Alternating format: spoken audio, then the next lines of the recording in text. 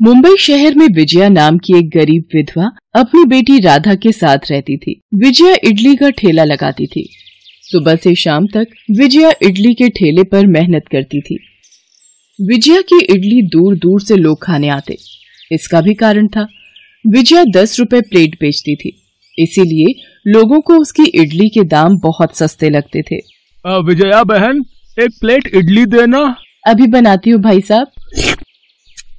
कुछ भी कहो विजया बहन तुम्हारी इडली बहुत ही स्वादिष्ट बनती है। और दाम भी तुमने बहुत सस्ते रखे हुए हैं। अमीर हो या गरीब हर कोई तुम्हारी इडली खरीद कर खा सकता है हाँ। भाई साहब मैंने गरीबी में दिन गुजारे हैं। मैं जानती हूँ भूख की कीमत। माँ वो दादाजी आ गए। राधा बिटिया तो मुझे दूर से ही पहचान लेती है हाँ। बाबूजी आपको इतना समय हो गया हमारे ठेले पर आते। एक दिन भी ऐसा नहीं जाता जब आप मेरे ठेले से इडली खाकर ना जाए। विजया बेटी तुम्हारे हाथ की इडली खाने की आदत हो गई है। इडली खाकर मेरा पेट इतना भर जाता है कि आराम से पूरा दिन निकाल देता हूँ। हाँ। अच्छा बाबूजी आप कह रहे थे आपके किराएदार घर खाली करके जाने वाले हैं? अभी कहाँ गए हैं? कई बार उन्हें कह चुका हूँ घर खाली कर दो खाली कर दो। पर वो करते ही नहीं है। सारा दिन शोर मचाते रहते हैं। उनके घर में कोई न कोई पार्टी चलती रहती है। बहुत परेशान हो गया हूँ मैं इन किराएदारों से। विजय अभी बूढ़े व्यक्ति को इडली दे ही रही थी कि अचानक वहाँ एक गुंडा आ जाता है। देख विजया तूने मुझे इस हफ़्ते भी किराया नहीं दिया। ये ठेला जिस जगह खड़ा है ये एरिया मेरा है। दो महीने के तेरे पाँच हज़ार रूपए बनते हैं। एक हफ़्ते का समय देकर जा रहा हूँ। मुझे पाँच हज़ार रूपए दे देना नहीं तो ये ठेला और सारा सामान उठाकर फेंक दूँगा। दिलावर भाई ऐसा मत कहो। मैं एक हफ़्ते में पाँच हज़ार रूपए कहाँ से लाऊँगी? बड़ी मुश्किल से तो घर का गुजारा चला पाती हूँ। कहीं से भी ला। मुझे इससे कोई मतलब नहीं है। यहाँ मुझे हर दुकान वाला पैसे देता है। और तुमने मुझे पिछले दो महीने से कुछ भी नहीं पकड़ाया है। अब पूरे पाँच हज़ार रूपए लेकर ही मानूँगा मैं। जा रहा हूँ मैं। अगले हफ़्ते आऊँगा। बिलावर नाम का गुंडा विजया को धमकी देकर चला जाता है। अब ये गुंडा कौन था बेटी जो तुमसे इस तरह से बात कर रहा था? बाबूजी ये इस एरिया का गुंडा है। ये सभी दुकानदारों से महीने के पैसे लेता है और कोई ना दे तो ज़बरदस्ती करके उससे पैसे छीन कर ले जाता है। और अगर कोई पुलिस को खबर करनी चाहे तो उसकी सारी दुकान और सामान तोड़ देता है। इसीलिए यहाँ पर इस दिलावर के खिलाफ कोई भी शिकायत करने की हिम्मत नहीं जुटा पाता। बेटी मैं कुछ सहायता कर सकूँ तो नहीं नहीं बाबूजी आपने इतना कह दिया यही काफ़ी है। बेचारी विजया परेशान हो जाती है। वो उस बूढ़े व्यक्ति को परेशान नहीं करना चाहती थी। इसलिए वो बूढ़े व्यक्ति की मदद लेने से इनकार कर देती है। दो दिन बीत जाते हैं। विजया परेशान हो रही थी। माँ क्या हुआ? तुम ठीक तो हो? राधा कुछ दिनों बाद दिलावर पैसे लेने आ जाएगा। मैं कहाँ से दूँगी? मेरे पास सिर्फ़ नौ सौ रूपए ही जुड़े हैं। अब क्या होगा? माँ, आप कहाँ से पैसे लाओगी? देखती हूँ। वो बाबूजी उस दिन कह रहे थे, मैं सोच रही हूँ, अगर मैं बाबूजी से उधार पैसे लेकर दिलावर को दे देती हूँ तो मैं बाबूजी के पैसे थोड़े थोड़े करके चुका दूँगी। कम से कम दिलावर जैसे गुंडे से पीछा तो छूट जाएगा। हाँ माँ, बाबूजी तो बहुत अच्छे हैं। वो हमारी मदद ज़रूर करेंगे। विजया ठेला लेकर बाज़ार पहुँचती है। पूरा दिन बीत जाता है, पर वह बूढ़ा व्यक्ति इडली खाने ठेले पर नहीं आता। माँ, बाबूजी तो आज इडली खाने के लिए आए ही नहीं। अब क्या करोगी? पता नहीं। बाबूजी पिछले दो दिन से आ ही नहीं रहे हैं। वो तो कभी ऐसा नहीं होता कि इडली खाने ना आए। कुछ तो बात है। शायद तबीयत ठीक ना हो। इस वजह से ना रहे हो। विजया को लग रहा था कि बूढ़े व्यक्ति की तबीयत ठीक नहीं है। इसलिए शायद वो इडली खाने नहीं आए हैं। पर जब छह दिन बीत जाते हैं, तब विजया को भी चिंता होने लगती है। दिलावर कल अपने पैसे लेने आ जाएगा। मेरे पास कुछ भी इंतज़ाम नहीं हुआ है। बड़ी मुश्किल से सिर्फ़ पच्चीस सौ रूपए ही जोड़ पाई हूँ। मैं क्या करूँ, भगवान, समझ नहीं आ रहा। वो, अगर वो बाबूजी आ जाते तो मैं उनसे कुछ मदद मांग लेती, पर वो भी नहीं आ रहे हैं। राधा, बाबूजी तुम्हें बता रहे थे कि वो कहाँ रहते हैं?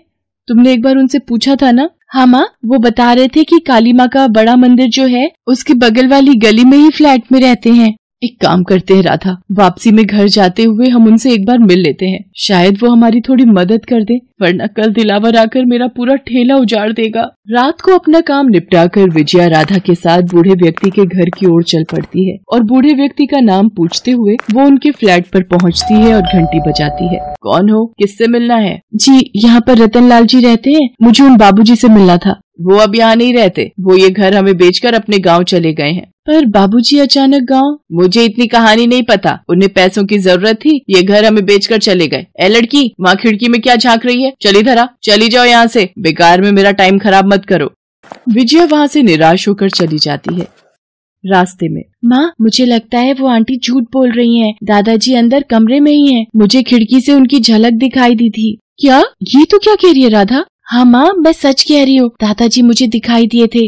विजया पूरी रात सो नहीं पाती। वो सुबह सुबह पुलिस स्टेशन पहुँचती है और सारी बात पुलिस को बताती है।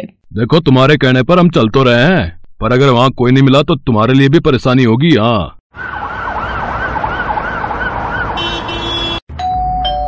तुम्हारे कहने पर हमने सब जगह देख लिया। सॉरी मैम हमने आपको परेशान किया।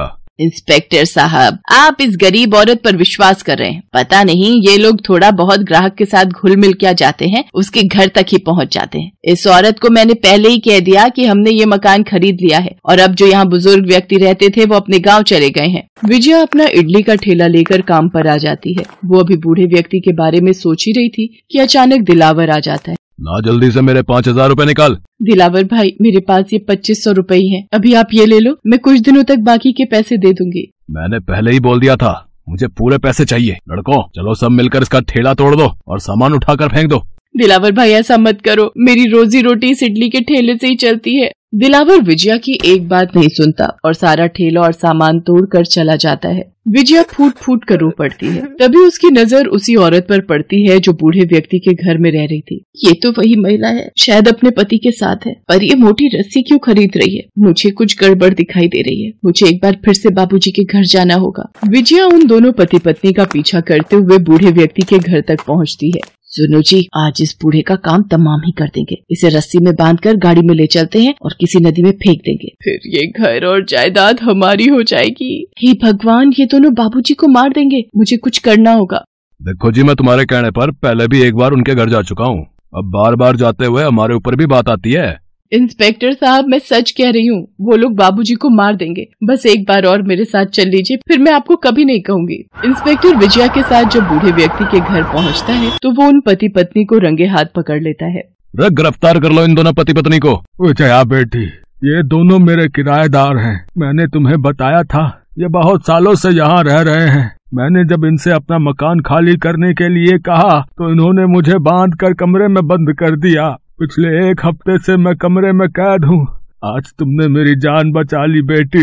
दादाजी आपको पता है दिलावर ने हमारा सारा ठेला तोड़ दिया सारा सामान भी फेंक दिया। बाबूजी आप ठीक है मुझे इस बात की बहुत खुशी है। विजया बेटी आज तुमने मेरी मदद की है।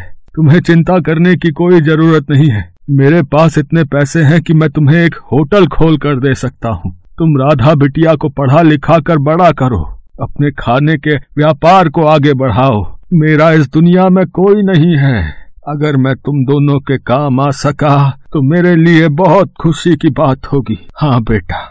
बूढ़े व्यक्ति की मदद से विजया साउथ इंडियन होटल खोल लेती है पर वो अभी भी पहले की तरह सस्ती थाली ही बेचती थी ताकि कोई भी गरीब आसानी से थाली खरीद कर खा सके। Best buddies